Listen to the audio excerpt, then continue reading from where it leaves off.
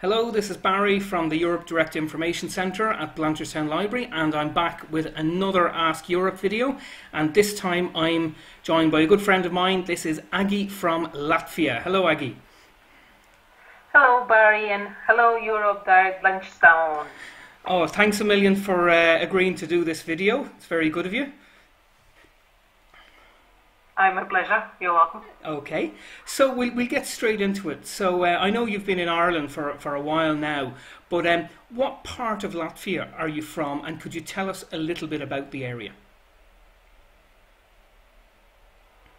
Uh, my birthplace is uh, countryside, a place called uh, Nītaure. It's a very small village.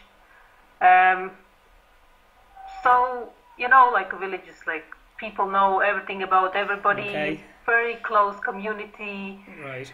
lovely people, and yeah. So that's that's the way we grow up. Um, very friendly and helping each other. Yeah. And, and you've told me before, of course, when, when you were growing up, when you were quite young, it was the Soviet Union.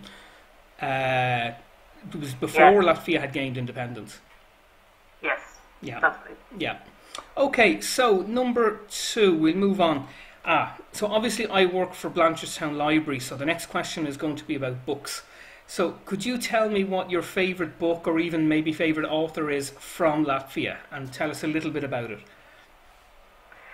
Um, Latvians have a very rich culture and many famous aut- authors. Um, their works being translated and issued abroad. Uh, when I was growing up, I loved fairy tales. Okay. Uh, and my favorite fairy tale was uh, called Sprīdītis, that which means um, if you translate straight would be the inch. The Inch. It's about the boy who was just the inch tall. Okay. So the story was about that he went into the world to look for look for happiness and dreamed to, you know, getting a giant wealth. Um, but at the end of the uh, fairy tale, it turns out that the happy land is there where there is your home, and the greatest treasure is the love of family and friends. Okay, that, that's a lesson a lot of us are maybe learning at the moment, isn't it? Yeah, yeah, and uh, tell, and obviously, just can I just ask you the Latvian language? Would you say it's it's quite difficult for, for foreigners to learn? I would say so. Yeah, I would say difficult. Yeah, and you you obviously speak English. Do you speak any other languages? Russian. Russian. Okay, and you you learned that growing up in school. That was the compulsory subject Okay. in school. Okay, okay. So uh, next, could you tell me about a person from Latvia, either in the past or in the present, who who you admire and and why? There are many Latvians with whom I'm proud of and uh, and, and I admire. Um, of course, my, my friends, they're very nice people, lovely people. But apart from that, uh, uh, I admire people that even they are famous, they haven't lost their, you know, uh, what's the word, uh, humanity. Yes. Would that be right? Yeah. Yeah. and uh, uh, we have actually very uh, popular band in Latvia called Brainstorm. Okay. They're actually they've been very active, not just in Latvia but outside Europe and uh, other countries. Um, and the leader of the band is very active guy, and he's been taking part in various social projects. And the good thing about him is that he's being selfless and truly genuine man, even though he's very famous guy. Um, he hasn't lost that. Okay, that's nice to see So, a, celebrity who's stayed normal. Yeah, yeah. Okay, excellent. And uh, so just give me the name of the band again. Brainstorm. Brainstorm. So I'll definitely check them out this evening. Okay, fantastic. Now, uh, the next one. What is your favourite food from Latvia? Oh, oh. Latvians like their food. Okay. I find it difficult to, to you know, name my favorite because I'm not really picky eater. I love everything. But living in Ireland, I miss some things like uh, Uh, you can't actually you can buy in some various European shops like smoked chicken, Mm-hmm. Okay. rye bread, rye bread, um, and uh, stewed sauerkraut, like So, okay. Latvian style. Right. And every like real Latvian man's main dish should be like potatoes, sauce, and piece of meat. That would be the That, the best that's meal. not so different to Ireland. I know, yeah. Not completely different, I have to say. Uh, okay, that's that's fantastic. And, and you, you said, do you find you're able to find a lot of the ingredients in Ireland now? Oh yeah, actually Yeah. nowadays you can buy all the Russian shop, Lithuanian shop, Polish shops. So they sell Okay. a lot of things there now. Okay, that's that's uh, just how things have changed in Ireland. When I was a kid, something like olive oil was a luxury. Like now, we get these products easily.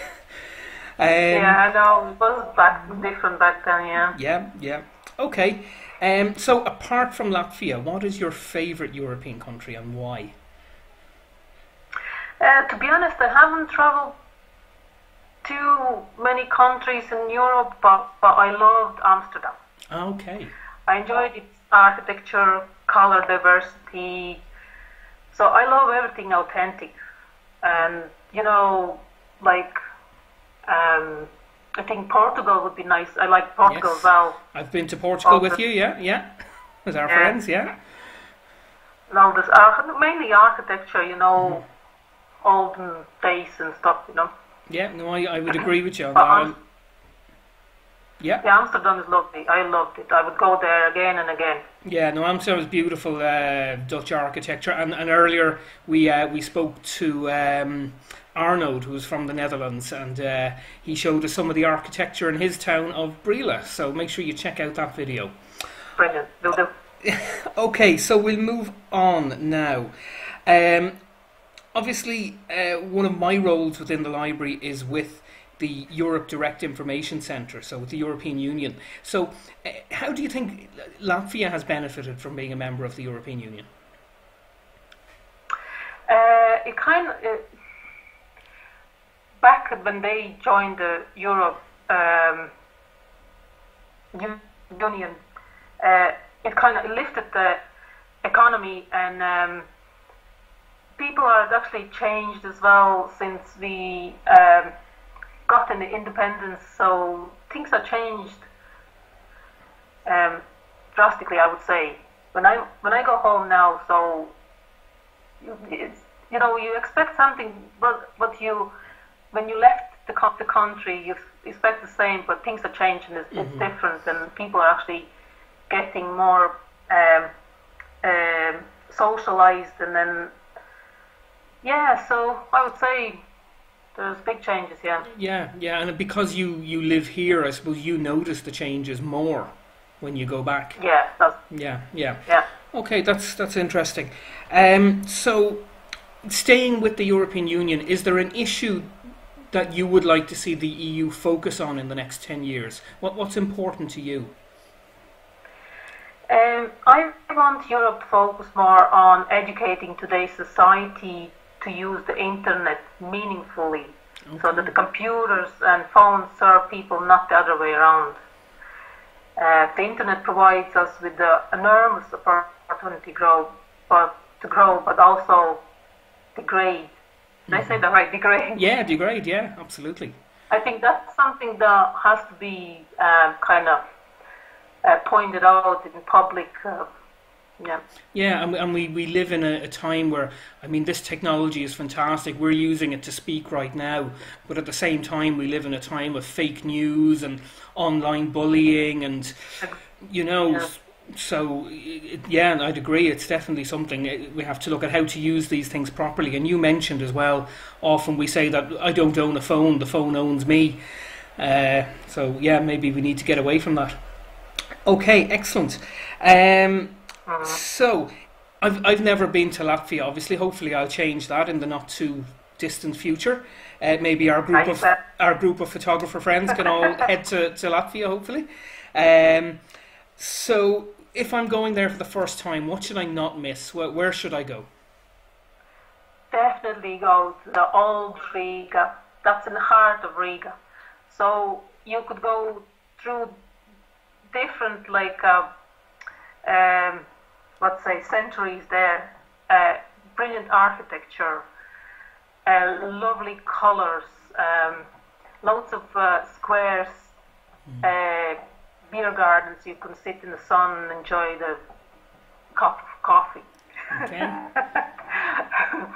so I think that that would be the main thing. If you've been in Latvia, that you should see Old Riga. And, and you and I know each other through through photography mainly. And would you recommend it as a place to take uh, good photographs? Oh, definitely, definitely. Yeah. Well, like I said, that's maybe our next trip with the, the photographic club. We'll we'll we'll head over to Latvia. You should do that. Yeah. Okay, and the final question is the is the the question uh, that I like to have a little bit of fun with. Uh, what's a stereotype about Latvia or Latvians, and is it true? Uh, that's that's a hard one. I I would say actually characterize Latvians as introverts. Okay. You wouldn't see many emotional Latvians Right. out there. Okay. Interesting. Not like the Irish. Like, no, no, like uh, Italians would go like that, Yeah. you know. But Latvians would be more uh, reserved, I Okay. would say. They, of course, they have a feelings, but they wouldn't show the, you know, Okay. Interesting because that, that, that, that's what I. that- That's interesting Hmm? because uh, that's very interesting because Han from Finland and also uh, Magnus from Sweden said something very similar. So we can see some That's probably something similarities. like typical. And, and, and Latvians have, have had to struggle in their history, haven't they? Yes, they have, yeah. So, so they've been, um, they're actually, like you said, they're resilient Latvians, you know, Okay. and because despite the time of the Soviet occupation of 60 years, uh, Latvia uh, kept their own uh, language as the only national language, its name and uh, territory. So we are very proud of that.